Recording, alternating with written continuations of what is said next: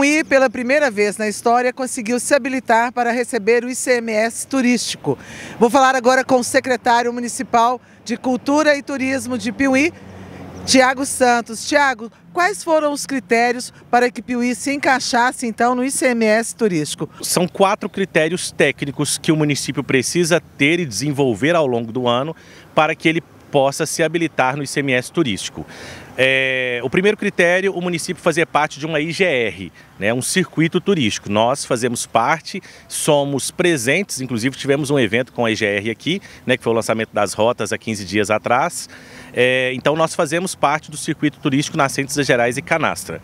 O segundo é, item é o município criar um plano municipal de turismo, ter a política de implementação do turismo. Foi criado no ano de 2021 o Plano Municipal de Turismo do município de Piuí, que tem vigência até o ano de 2024, para os quatro anos da gestão aí do prefeito Dr. Paulo.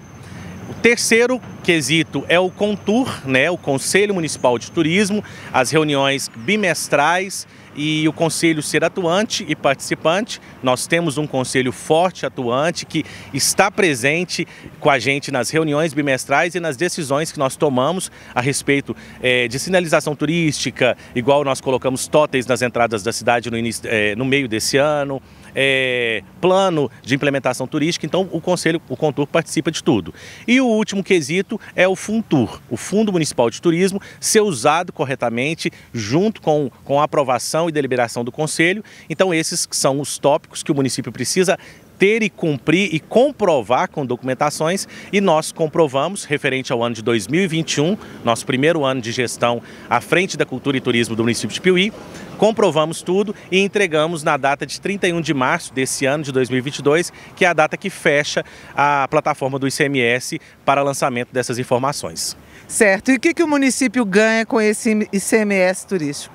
Bom, Roseli, o ICMS turístico ele é um pouco diferente do ICMS cultural. Né? A nossa secretaria agora ela já está apta em dois ICMS para estar recebendo a partir de janeiro de 2023.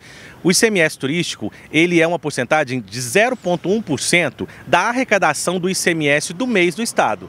Então o Estado recebeu uma, eh, teve uma arrecadação X é, total, ali, aquele bolo da arrecadação do ICMS de todo o Estado, de todos os produtos que, que geram ICMS, o Estado arrecadou aquele bolo de valor e esse valor ele é dividido para os municípios, né? Vai, é, vai para o ICMS cultural, vai para o meio ambiente, vai para a educação, vai para a saúde e tem também a parte do turismo. O turismo fica com 0,1% desse montante.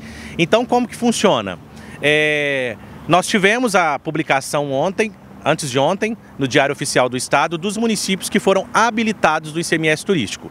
Esses municípios, esse montante do valor, 0,1% do valor da arrecadação total do Estado, é dividido por esses municípios que foram habilitados. Nós fizemos ontem, eu estava com, com o secretário de Turismo de Capitólio, o Lucas, e Capitólio já tem 11 anos, né, completou agora 11 anos que é habilitada no ICMS turístico. E aí a gente foi fazer o cálculo, por exemplo, Capitólio recebe, recebeu nesse ano de 2022, R$ 1.500 por mês referente ao ICMS turístico. No nosso cálculo, Piuí deve ficar ali na casa de uns 2.500, 2, é, ou mais, né? Depende da arrecadação do Estado naquele mês para a gente poder saber. Então não tem como passar um valor específico. Mas, é, em conversa que eu estava com o secretário de Capitólio, Piuí tem três vezes mais munícipes do que o município de Capitólio. Então a tendência é que o valor do ICMS é, o percentual do ICMS turístico seja maior do que o Capitólio. Então, se o Capitólio recebeu na casa de 1.500 nesse ano, né, referente ao ano de 2020, Piuí, a gente projeta ali na casa de 2, 2.500 ou até mais, é, ressaltando que nesse ano vários municípios aqui da nossa região não se habilitaram. Então foram menos municípios que se habilitaram porque tinha exigência é, para o ano de 2020 2021 de ter um plano municipal de turismo, né? A, implementação da política municipal de turismo. Igual para o ano que vem já existe uma exigência de ter um plano de marketing. Então, é, essas exigências que pode acontecer de, algum município se desabilitar, não conseguir habilitar. Então é isso, nós vamos saber o montante real em fevereiro, né? Porque a, no mês de janeiro a arrecadação do Estado faz a divisão para o ICMS, no mês de fevereiro a gente recebe na conta da Prefeitura o ICMS de todos os setores, todas as secretarias, né? E aí a gente vai saber na, na real qual será o valor. Mas o valor estimado é esse, né? Na faixa ali de 2, 2,500, acima do valor que foi esse ano é, na conversa com o secretário de Capitólio, por conta da quantidade de munícipes aqui, que é maior do que lá. Certo, Tiago. E você tocou aí no ICMS Cultural. É, ele já está pronto também, apto para, habilitado para receber? Está habilitado. Referente ao ano de 2021, que foi o nosso primeiro ano de gestão, o município de Piuí fez 14 pontos. O cálculo do ICMS cultural já é um pouco diferente, é um valor a mais. Cada ponto equivale a uma casa ali de 22 mil reais. Também depende da arrecadação do Estado, mas é um valor maior. Então o município de Piuí está apto ali a receber na casa de 306 a 308 mil reais para o ano de 2023, né? Que foi o trabalho que a gente fez em 2021, que a gente já começa a receber também no mês de referente ao mês de janeiro do ano que vem. Então, em fevereiro do ano que vem, o município de Piuí recebe ICMS turístico, que é um valor menor, né, entre R$ 1.500 e 3.000 reais, vamos dizer assim. A gente vai saber o valor real somente em fevereiro, quando sair lá na Fundação João Pinheiro, que é a a instituição responsável pelo, pela divisão do ICMS, aí a gente vai saber o valor real. E no ICMS cultural, Piuí começa a receber também um ano que vem ali em janeiro, vai receber em fevereiro na casa de uns 25, 28 mil reais por mês. Então, é, a gente está muito feliz, né, enquanto secretário de Turismo e Cultura. Estou muito feliz porque isso mostra a seriedade do nosso trabalho, que nós não estamos aqui para brincar, Roseli.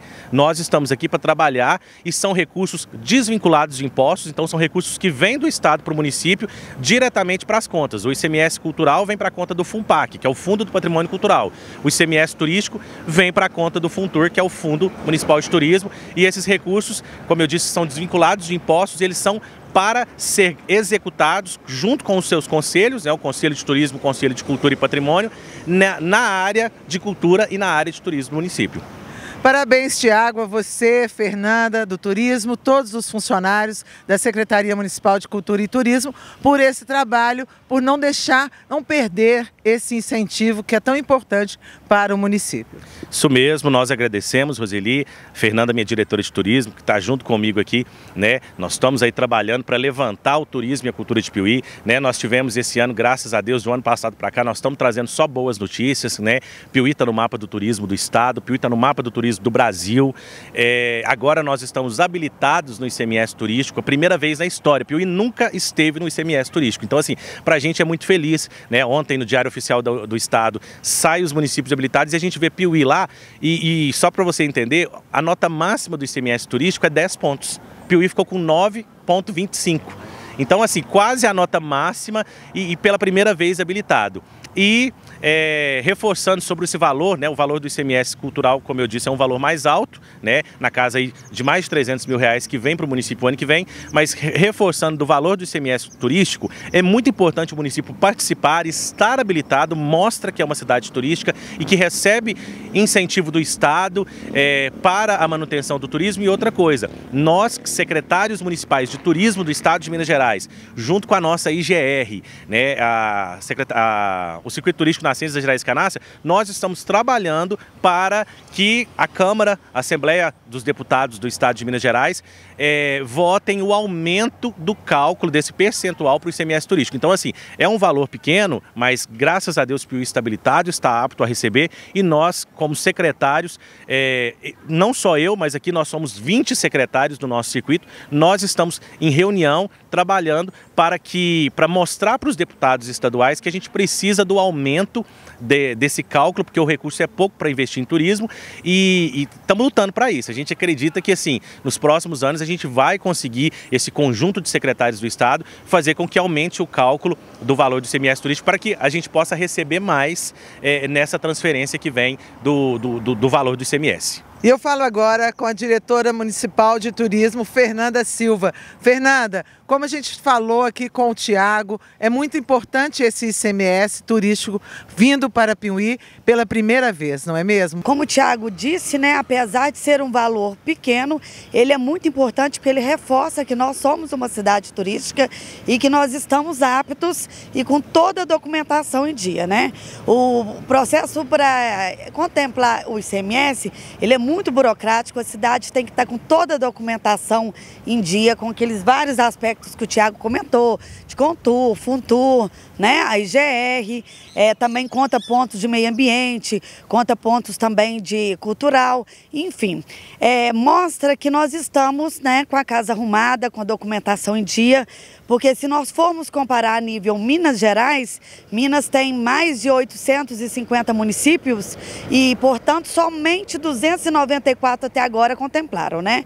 Tem um recurso, alguns ainda podem entrar, mas é um número, vocês podem ver, que está bem abaixo é, da metade né, dos que conseguiram contemplar. E perante ao nosso circuito também, que são 20 cidades que contemplam o circuito nascente das Gerais e Canastra, nós é, estamos no meio de sete cidades que conseguiram contemplar. Então, assim, a gente fica muito satisfeito né, por estar com tudo em dia e de estar apto e ser agora uma cidade turística também com o ICMS. Parabéns, Fernanda. Nós já parabenizamos aí o Tiago, você, toda a equipe. Parabéns pelo belo trabalho que vocês vêm realizando. A gente que agradece o apoio, a parceria de estar sempre conosco, né? Cobrindo os eventos, os acontecimentos e muito obrigada.